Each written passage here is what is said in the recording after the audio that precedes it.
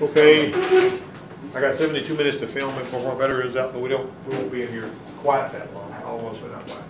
What, what? This is the forty-one TE, Hey, and where is Brian Adams? Everybody's not Is here. Brian Adams? At here the again? truck, with Is that Zach, Brian and Zach, get in here, come on. Come on, boy. All right. 401 TE, E, that's a fairly easy schematic to read right there. Uh, Tell me what you see. See the transmission. Okay, how does the, uh, how's the connection made? uh, Tell me how the connection is made on this one between the transmission and the final drive. This is going out to the C- CV axle. There's your spider gears. So how does what's going on in here make it out here? the chain. No chain, not on this one. This is kind of an unusual transaxle in that regard. You notice on the back, you've got two gears that are matched. This one here, it's got one-to-one. There's a shaft going forward, and that's where your final drive is right there. So what you're seeing here is actually right there. Um, And in the final drive, these gears right here, uh, unlike the Toyota one out there, they're, they're all, it's all swimming in the same hole. So basically, there's what you call a line diagram. Now, this line diagram is what most of your transmission mechanics like to use when they're building a transmission. They like to have a line diagram with all that stuff laid out so that they can piece by piece stack it all together. And they pay particular attention to the little seals and every little piece that's in between there. You know, all the spinning parts are gonna have a bushing or a bearing in between them, like you're seeing right here. And so I had one guy that was building a transmission in there one time, must have been 12, 10, 12, 13 years ago. And whenever he took the transmission apart, uh, one of the needle bearings wasn't there because it had come apart and was gone. And so he didn't put another one back because there wasn't one in there. And he kept having trouble until he finally, I directed him to go to the line diagram and find that he had left, there was a part missing. He didn't take it out, so he didn't put it back in. First transmission I ever tore apart was out of a seventy-eight or nine Dodge. And I tore it all apart and somebody came by and took one of the rubber seals out of one of the drums. Just came by because he knew a little something about transmission, they put one there. And because I didn't take it out, I didn't put it back. I mean, I should have known there was supposed to be one in there, I guess. But at the time, I was just doing it like a puzzle. And when I put it back together, it pulled just fine until it got hot. And then that fluid would get thin and start leaking past that thing. Anyway, there's your valve body. That's what a uh, fairly simple little valve body, because most of what's going on in this one takes place in this sucker. This valve body here. And the cool thing about this transaxle here, this valve body is hanging on the outside of the transaxle. And it's really easy to change. Now, it costs about two hundred dollars, 200 to two hundred fifty dollars. But a lot of the times, you'll get a code that uh, means there's something wrong with it, you have to replace that. And we've replaced several of them, you know, I got a bunch of them laying around here. Uh, But since these valves are doing so much, then there's not a whole lot that's going on in here. So, uh, that little valve right there, that little teeny tiny valve right there is the one that uh, caused us to have to get another valve body for this Dodge when he was first working on that, but that's another thing. Uh, All right, right here, look at all these here ports. We got line pressure, we got low reverse pressure, we got an accumulator vent, we got from the cooler, kick down apply, kick down release, front clutch. And this goes to the cooler too. And there's your kick down band adjustment screw right there. You can see the band adjustment screw right there. Now these gears right here, the governor pressure below the differential cover on the right stud, that's where the port is for that.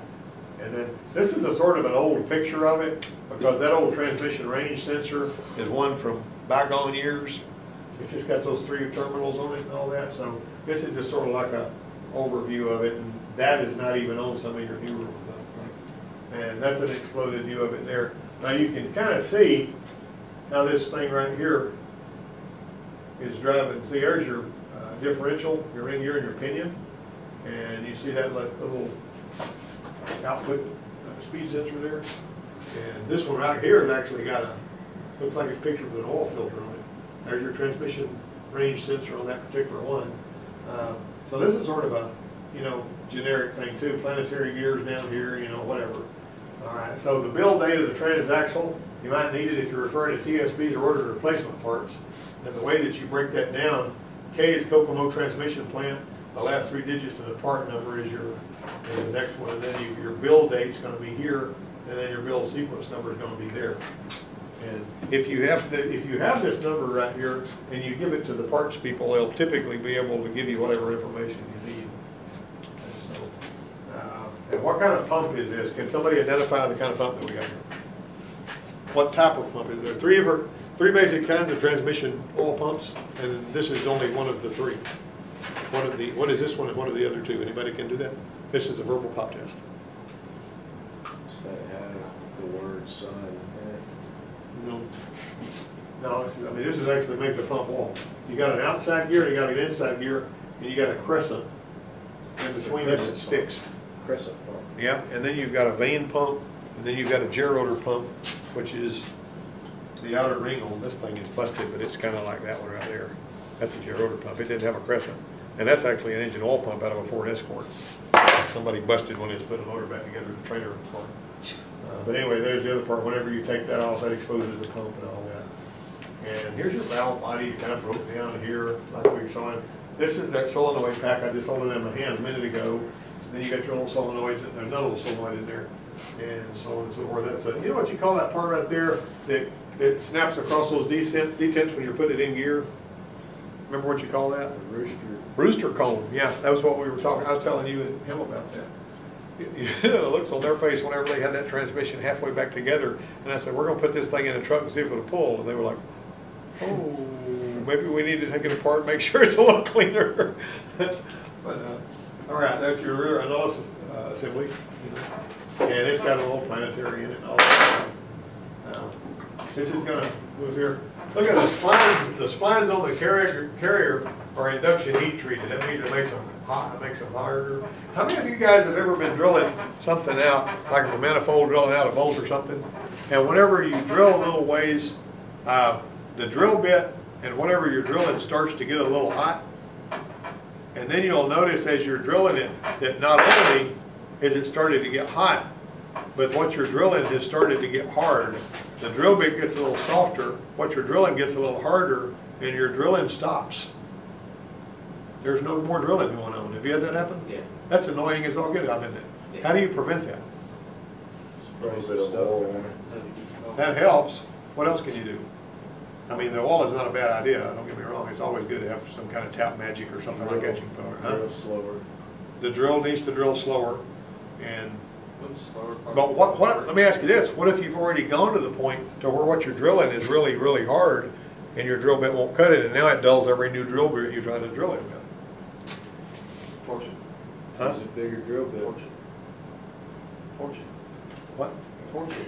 Torch it, good idea, you torch it, you let it cool off, you've annealed it, right? And so basically, if you heat it up slowly like that, you're tempering it, and that's what they were talking about when you doing these. Uh, You temper those, that's not a very good picture, obviously. Uh, The rear carrier features a five pinion design, it helps uh, with, with the strength, if it's got five pinions, it's gonna be stronger, right? That's not too hard. And you got your old and new style needle bearings respectively, they got slightly different types, they're not interchangeable. Be careful if you got older parts going and new. There's your transmission range sensor, we'll talk a little more about that later. Now, let's look at our fluid map, right here. Okay, we're in park or neutral, speed under eight miles an hour. Obviously, if you're in park, you're not gonna be going eight miles an hour, but you could be going eight mile an hour in neutral, right? If you're rolling down a hill. All right, now you see this low reverse switch, right? And this is the application of that drum up there. And look how your fluid's going. Your manual valve down here is basically in the position where you're gonna be in. And those right here is telling you what position you're in, right? So when you move it around, this is your, your pump is actually pushing fluid here. And it's going up there and then pushing that little check ball out of the way there. And going up there to that low reverse switch. Some of, if some of your scan tools are goofy, they'll call it a left rear switch, because they don't know what LR stands for. Uh, then it's going past this valve right here. And down there, you see how it goes. Now look here, this is line pressure, converter clutch off, converter clutch on, residual, lube, and suction. All right, so line pressure is basically the dark color, and that's the one you're paying the most attention to. You notice there's lube pressure too, that basically is just keeping everything lubricated. That's right, see that right there? That's what that lube pressure looks like. Um, So anyway, but there's a fairly little, all right, now we're gonna shift, uh, right here, we got neutral speed over eight miles an hour, there's a slight bit of difference here. See, before we were in park, uh, but there's a little bit of difference here, and you notice we're not getting anything to our low reverse switch, and it's moved back over here. And and that drum's not charged up and all that. That's your vent reservoir there. Temperature sensor, you know, is measuring that. But you notice how your fluid is being driven over here, your solenoid switch valve right there. All right, let me go here again. Now then, we've shifted in reverse. Notice our low reverse switch valve has moved over here. All right, and so basically, we're, our manual valve is moved, and it's letting fluid go up here, and it's applying that particular, you know, low reverse drum. And you got your low reverse solenoid right there, and then there your underdrive thing, that's your vent reservoir. This right here, you can basically tell, and see, there's your reverse too. If you do, if you get to the point to where you can look at these and understand what you're looking at, and you've got a problem in a particular gear, this will take you a long way. Uh, you don't have any solenoids energized right there at this point. You see that right there? All right. Now we're energizing that solenoid right there. We've moved it, we're still in reverse, uh, reverse block, basically. We've thrown it in reverse driving down the road, is what we've done. Uh, Nothing is making it to the reverse, I mean, to the uh, low reverse drum is disengaged, even though you got that one powered up. It's not gonna let anything go there. So that's your reverse block. You shift to reverse with speed over eight miles an hour, it keeps it from going into reverse, but you don't wanna tear things up. There used to be, from what I was told, this a salesman on these Cadillacs back in the late sixties, and he would show how tough the transmission was on a Cadillac by going, going 60, 70 miles an hour and throw it in reverse, and it would just burn the tires. And talk about showing how tough the transmission was. And that if a customer would buy that after a guy did it, was crazy. But this guy that worked at the Cadillac dealer said, after they put radial tires on the cars, and you put it in reverse, not only did it tear the car up, but it was enough of a stop to where it caused some serious physical damage to the people inside the car. Obviously, they didn't have airbags or anything yet, and I don't think they were wearing seat belts either, you know. But, uh, anyway, now we've, now we've shifted to low gear, we're in drive, and we're basically, in here we got a low reverse, you know, and that one there, those solenoids are energized, those two, click, click, and they're, they're in this solenoid thing. And see what's going on here. Uh, you got your underdrive in, and low reverses, and low reverse switch is moved over here. See, and the pressure's driven it over that way. And basically, because depending on which way it's coming from, that switch is gonna move back and forth, see, it, it's not spring loaded or anything, it's totally driven by fluid pressure. And it always moves. And so you can follow these, like I say, pay attention to that. And, uh, there's your converter clutch, you know, not got enough pressure to do anything there yet. But anyway, uh, it can take a long time, you can talk about that a while. But the fact that they've gone to the trouble to draw this out for you to look at, you see? All right, now let's, uh, we're gonna go on up to, uh, we're still in drive, and we're in second gear. All right, and you can look at all these little things right here and tell what we're looking at. Okay, now let's change in second gear. And we got that one energized, we got your two four. That's the one, uh, that was causing the chattering problem whenever Jonathan first put that transmission back together. The First time, and whenever it would chatter going from first to second, but it would like that. See, this, we were going into this gear, and you notice that particular one was the one that's applied in there. And what had happened in there, you know how you gotta rattle those clutches, I mean, rattle those, uh, splines down in there to get into those inside pieces? Uh, what he had done was he managed to bend one of them. I mean, all of the teeth were lined up with their, you know, where they're supposed to go between, and it had bent it and made it shaped like a diaphragm. And that's why the thing was chattering when it went in gear. I mean, I had never really mentioned that to anybody before in here, but that's what, that's what happened and all that. And then, then when I, I was called over and I says, you know, you got, you know, can you help me with, you know, this stuff? Because there was another part, part wore out in there too that, you know, he claims he had seen, but he never mentioned it until we went back into the second time, you know what I'm saying? And we were looking at it together. Uh, But anyway, one way or another, that's what that's, uh, looks like this is what's applied right there. So if you're going from first to second, you got a problem. Right there in that part, that's the piece right in the middle, uh, that, that, you know, that it was messed up that I was talking about right there. Um, And, you know, you can look at all this stuff as much as you want to. Um, So right here, what's that mean? What's mod mean? Right there. Where it says mod, what does that mean? Hmm? Is your converter clutch, and Zane can probably find this on his phone since he's married to it. But what we can do, if you've got a converter clutch, is it always locked in solid all the time on the newer model vehicles? Whenever your converter clutch engages, does it just lock in or what? Or does it, you look at your scan tool, you're see twenty percent, thirty percent, forty percent, fifty percent. And then it finally gets completely locked up at hundred percent. And whenever it doesn't have the friction modifier in the fluid, you're gonna either feel a chatter. Have you ever, you feel some of these Crown Victorias, when a friction modifier begins to wear out in the fluid, uh, what'll happen is it'll actually feel like you're running over those little speed breakers coming into a stop sign. It'll go, and all you really have to do to fix that is just service the transmission, typically. You know, it's a good idea to do a full fluid exchange if you can. But anyway, modulated. See, your converter clutch and your low reverse are modulated. All right. And then rinsing out here, we got that solenoid is energized on that one, and then got your overdrive solenoid energized. And so you can see where the fluid's changing position going in there, it's doing things, and now it's got underdrive and overdrive, which is your three, four. And it's moving in along there. There's your, those two little solenoids there. And this stuff right here, like I say, it's, it's really, really good to be able to track this down. Now, a lot of the times, you know, we have the notion of just, we're gonna fly into this thing, we'll tear it down, we're gonna see what we see broken, then we're gonna fix it, we're gonna put it back together. I mean, I've seen professional transmission guys get in trouble like that, you know, because they'll go in there and there'll be a, you know, without analyzing it enough, they'll go in there and there'll actually be a drum that's cracked that you can't see the pressure goes in there to. Uh, but basically, what are we in now? We're in direct gear with a torque converter clutch energized.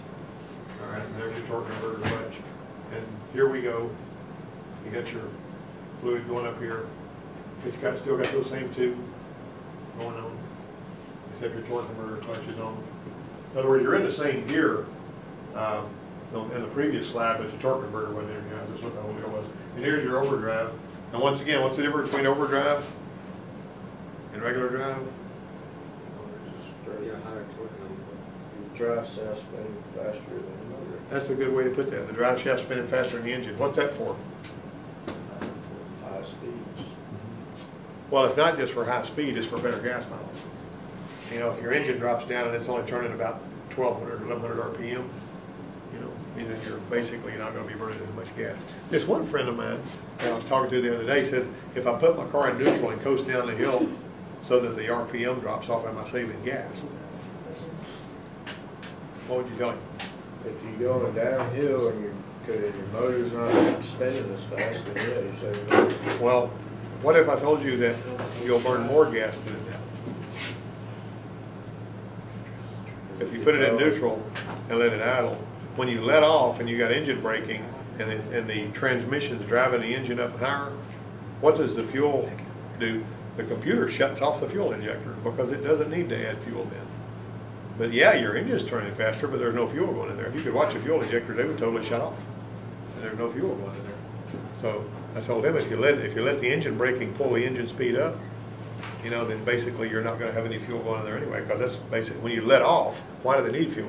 So the engineer sets it up so, you know, the algorithm is set up so that it'll shut the injectors off. And, um, if, if the calculated pulse width is low and the speed is high, then they shut them off, because they don't need to be running anyway. Over, underdrive and overdrive solenoids are energized and this little thing here, all right. And finally, we got overdrive, and, uh, somebody tell me what EMCC is. Okay. Modulated converter clutch, right, electronically modulated converter clutch. All right. And that's converter clutch on. Did you notice the difference between those two up there at the converter? See? The fluid is not as uh, heavy up there. It's going up there, but it's not as strong. It's kind of like lead pressure. All right. There we go. And here's how the wiring's done. Right, this is sort of an overview of the wiring. Chrysler likes to do their wiring schematics like this. I've looked at some of the Dodge diesels, you know, whenever I was teaching classes on that. And you got output speed sensor, input speed sensor. That's those two plastic sensors on the side of the transmission. They also are on the side of the, uh, on some of these Dodges. Those little plastic sensors don't cost but thirty dollars. They like to die. And they'll keep it from shifting and stuff like that. Um, Okay, you got a fused ignition switch. Now watch this, this is pretty important. If that fuse blows, what do you think? What's it What going- happens then? What's it going to? It's going to the fuse ignition switch input to the transmission range sensor. And all that. Won't shift. There's another one, look at that one. This is the transmission control module. Not only that, it's gonna take off in high gear, right?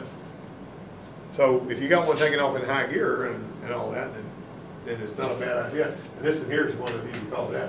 What you can do, or if you got a transmission control relay problem, uh, if it's taking off in high gear, check fuses. Be terrible to have to go in there, and get your hands all greasy if you could just change a fuse because of whatever reason. Sometimes fuses get tired and blow, sometimes they blow for another reason. There's your transmission range sensor. What do you know about this from looking at it? What type ten transmission range sensor is this? Is this analog or digital? Analog. What's, how do you know it's analog? If it's got four switches, it's digital. And they're closed in various different configurations during the, and there's a, there's worksheets on this, guys, where you're supposed to actually go and plug the scan tool into the Crown Vic, or put the, well, actually put the breakout box on the Ranger, and find those four pins, and do the math on that binary math, digital part of that. I think one of you guys have already gone through with that. I don't remember who it was. And, uh, but that's what your transmission range sensor looks like. See all those pins in there? When you see those pins, you kinda need to know what they are. It's really important to know what they do. There's your pressure switches in that pack right there. Uh, Low reverse pressure switch, two four pressure switch. They're basically built in with the same thing except the solenoids in there. Then you got your solenoids in there, they're in the same pack. Two, four, low reverse, two four underdrive solenoid, overdrive solenoid. Transmission control module is driving those. Sometimes the PCM does this depending on the vehicle. There's somebody that's coming in, one of them, is, oh, that's Daniel, okay. It was upgraded as a run-in change, this thing here from, two- for the two thousand model year. Fewer internal parts, no separator plate. It used to make a lot of noise, but they, the newer one, when they made it work to be quieter. These speed sensors, these plastic ones I was talking about, they don't cost very much, or not very hard to change.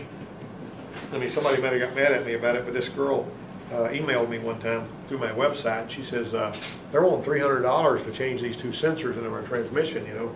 Goodness gracious, you know, we gotta pay them that much to do that. And I said, well, I sent her a picture of where they were, and I said, here they are, and uh, you can buy them at parts store.